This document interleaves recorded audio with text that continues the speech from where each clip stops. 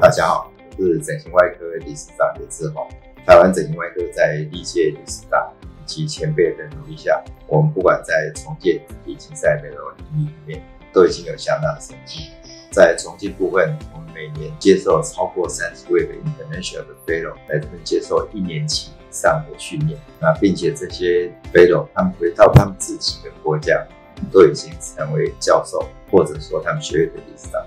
就像我们所说的“全力全能”，那我们将我们所学来贡贡献，来回馈给世界。那在开会，我们已经有参加了很多的国际会，比如说 OSAS、ISAS，还有我们办了很多的 hand surgery 啊、micro surgery 的烫伤，还有各方面各个相关的医学会，比如说乳业的学学会也是。那在最近，A Plus 在去年在韩国成立。那是戴奥斯理事长带领的团队去韩国线下的 M O U 所成立了 A Plus。在六年前，陈锡根理事理事长参与的 Ico Plus 的成立，所以我们台湾是 Ico Plus 的创始者之一。那这因 COVID nineteen 的关系，所以说我们疏远，但是 Ico Plus 现在又开始办活动。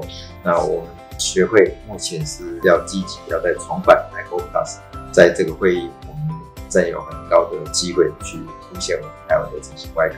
那今年的会议，我们邀请的是几位外宾。那我们有一整天的 A Plus 的开会。那在明年，我们将会有两天的 A Plus 的的会场。那希望说渐渐的，我们有一些像韩韩国一样，希望有一天我们是可以年会是可以形成一个国际的的会议。这一期的的整形春秋，那我们是以。乳房的重建为为主，是医美领域面占的非常重要的一个角色。那这一期的整形春秋里面包含了各种方式的 augmentation 以及重建的的手术。那我们台湾的整形外科的同同仁们都做很多的的重建。